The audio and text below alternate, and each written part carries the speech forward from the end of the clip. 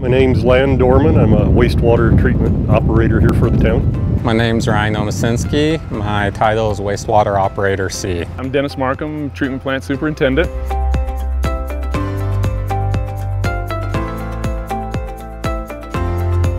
The wastewater treatment process and water treatment process are the greatest medical advancement of this century. Obviously, I don't want typhus or um, salmonella or any of those things. And so what we try to do is we try to clean this water and discharge it into the river so that it can be utilized so we're not killing animals or fish and we're maintaining a very healthy environment. If we didn't have wastewater treatment, the rivers basically would be nearly dead.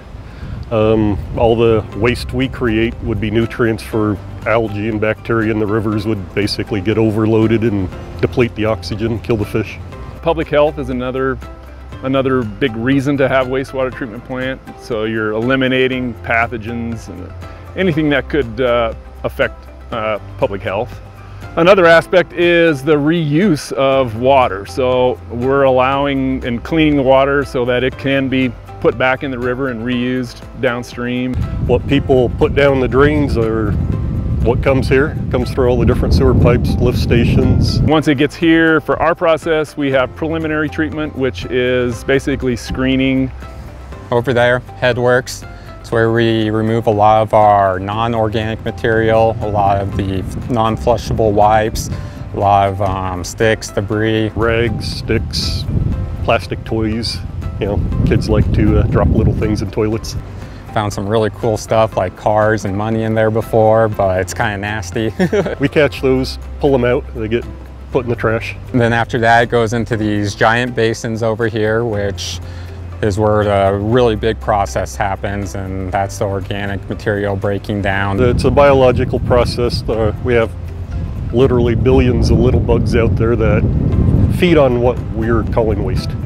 So they get happy, they create more bugs, they clean up the water for us. We're basically managing the bug population and uh, trying to get them to do what we want them to do.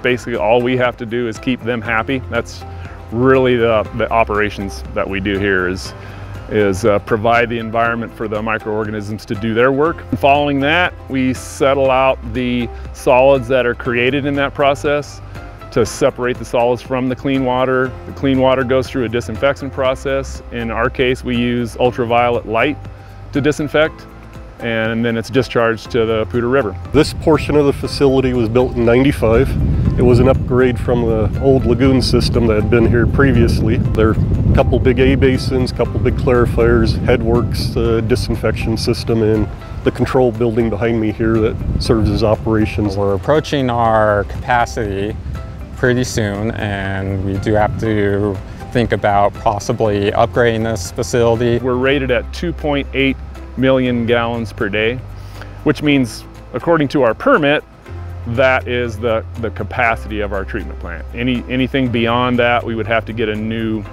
permit, which means we would probably have to expand. Right now we're treating about 1.8 million gallons a day. So we're approaching the 80% mark, which is the trigger for at least design of, of capacity expansion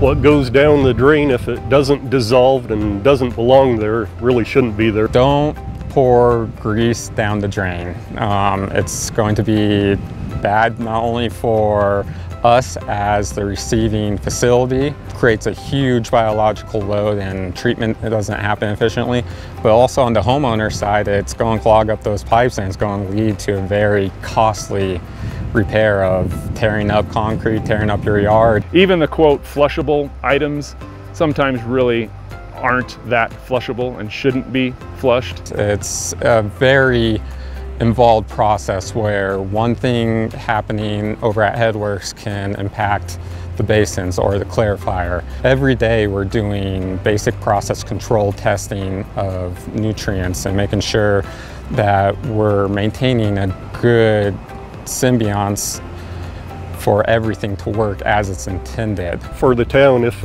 all this was just dumped, say, in a lake or in the river, the river would pretty much keel over and get pretty nasty.